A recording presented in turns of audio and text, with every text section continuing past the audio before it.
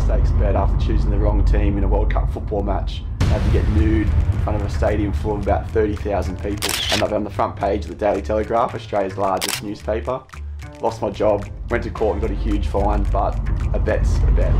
The bet originated in South America. I met a fellow Aussie backpacker named Rimba on a loose night out in Buenos Aires, Argentina. Rimba changed his plans of going to work at a party hostel in Peru and decided to come along with me to the 2014 Brazil World Cup. I said I was a top blood, but we came for cheap Before the first game took place, we decided to put a bet on. And people did this bet a while back. If Argentina to win the World Cup, he'll get his belly button pierced. And Germany to win, I have to get mine. Germany have won, so I'm gonna go follow through for this bet. See this baby girl? I will keep this belly button piercing in. Put a bauble in to start with. And then a few days later, they were allowed to actually put the dangly rhinestone piercing that we'd agreed on. Got him into a little bit of strife. He was working, slinging drinks at the bar, and he picked up some girl, got her back to the bunk room, and they were getting up to whatever mischief they were getting up to in the in the bunk bed. Before long, the girl started screaming.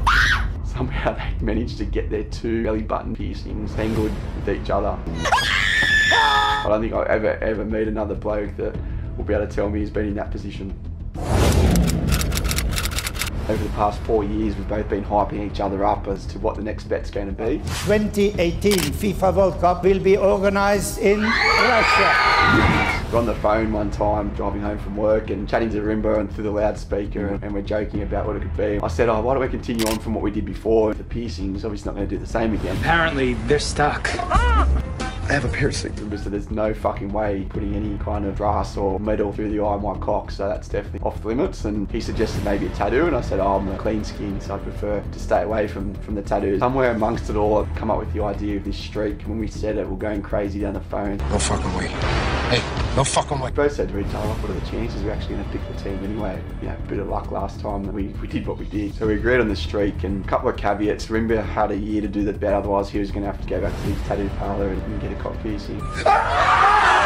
And if I didn't do the bet, I had to get a tattoo of, of Rimba's choice. The other rules were mostly around the prestige of the game. If it was in Australia, it had to be one of the big four co, the NRL, the AFL, the A-League, or the Rugby Union. Otherwise, it had to be some big event, like a big sporting event such as the Ashes, or could be the Melbourne Cup. Think anyone would be running naked alongside all those horses. So that one's off the cards. Rimba was going to be overseas in the UK at the time, so he'd agreed on doing it at an EPL football match. Once we have all the rules in place, we agreed on the bet over the phone. Yeah, that's right. We didn't even shake on it. Absolutely no guidelines for handshakes. I choose Germany again. Rimba chooses France. There's going to be another goal here. 2 0. That is it. Germany are going out of this World Cup. And France just keep on winning. It's getting towards the semi-final, and I feel like every match they're playing, it's a ten thousand dollar bet on it. And a $10,000 fine. $10,000. Not much of a gambler, but I can understand what these stakes are like. Griezmann with the corner, kicking Umtiti! And it is over. Allez les Bleus, all the way to the World Cup final. the final of the 21st Football World Cup. Flicked in by Griezmann and flicked on! Antoine Griezmann. France have their lead! You fucking French fuck. It is France! France are the champions of the world! And I've officially lost the bet. For the next 300 plus days, I get constant messages on all the socials. I think I must have seen every single video of streaker that's ever streaked of all time. Get photos, messages endlessly around the French holding up the World Cup. And I can probably sing the French national anthem the amount of times I've got sent that.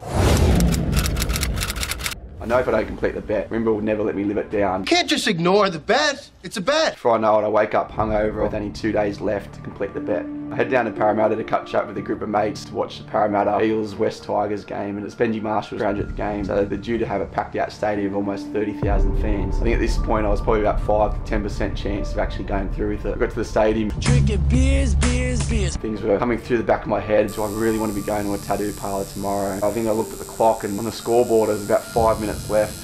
I thought, what if I just get this over and done with right now? And I looked down, there was a little spot between a couple of the security guards, and there was an opportunity that I could if I just get over that barricade, I'd be off. At this point, a few of my mates were trying to stop me. Don't do it.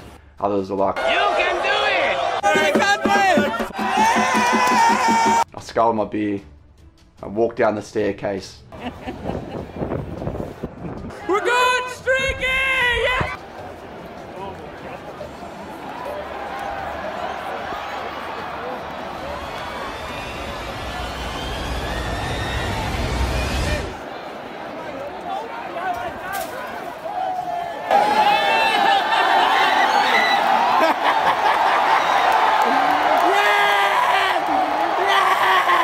We've got a streaker on the field. Rabs, where's those binoculars? You don't want to look. Oh, yes, I do. You don't need binoculars. I can assure you. Mind you, I tell you what, you'd have to have big magnification on them. Now, the boot throwing. Is there a prize for boot throwing? Obviously, there's, there's been a rule change. Well, see, there's another rule that you have to be properly apparelled. So if somebody. Are you, talking about the streaker? Or the no, well, he's he's guilty. There's no no question, Your Worship. Police come over, cops interviewing me and asking me questions around how could I possibly have done this for a stupid bet and such a stupid thing and what have I done and all the verifications and fine and everything that's going to come and he asked for a statement from me. All I could think of was, was four simple words. A bet's a bet. That's a bet. That's a bet. Only a few people that knew about the bet messaged me that night and I didn't get too many comments about it and next day I was thinking maybe I've sort of got away with this in a way. I, I know I've still got to pay the fine and go to court and the rest of it but maybe I can keep my job etc and it got to about midday on the Monday I thought all was good and then within minutes my phone was blasted with messages and, and missed calls over about a 10 minute period. And it was uh, friends, family, few HR department at work and some journo from the Daily Telegraph had gone and got my photo off LinkedIn and, and put it alongside a naked photo of me and put it up on the, the internet. I knew that wasn't going to go well and next morning I had a HR appointment. I kind of felt like I had a little bit of a chance at the time. I thought, you know, it's Triple M, they're larrikins, normally they'd pick up on a news story like this and run with it. Oh, we got a streaker. He's roaring away from the security guard from point. Oh, he pulls oh! and he slips over. You know, have a bit of a laugh about it. Maybe I could do something to make up for what I've done or try and put a positive spin on, on the whole thing. So the next morning I've woken up and I'm ready to go into work to either get sacked or find out what's going to happen. Everything's feeling good. At six o'clock, I get up, have a coffee, look at my phone, and I've got all my tradie mates who have been up super early and they're all sending me selfies of them alongside the front page of the day's newspaper, the Daily Telegraph. It's me completely nude, and then on page nine, there's another full spread of me swinging my shirt in the air and completely naked, and that's when I realised that I probably don't have too much of a chance of, of keeping my job. I did a stupid thing. Yeah, I guess that. You're fired.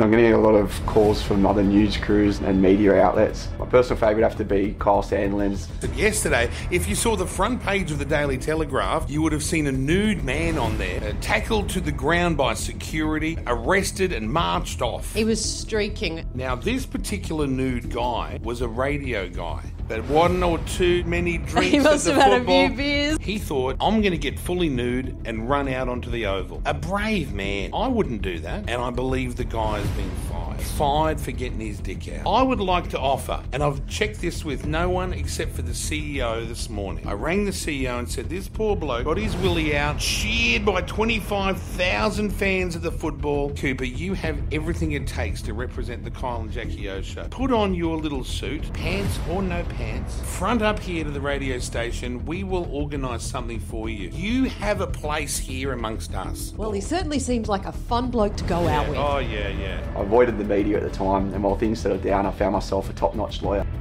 Do you accept your consequences? I ended up with a big fine. I lost my job. I kept my word, and I still don't have any tattoos.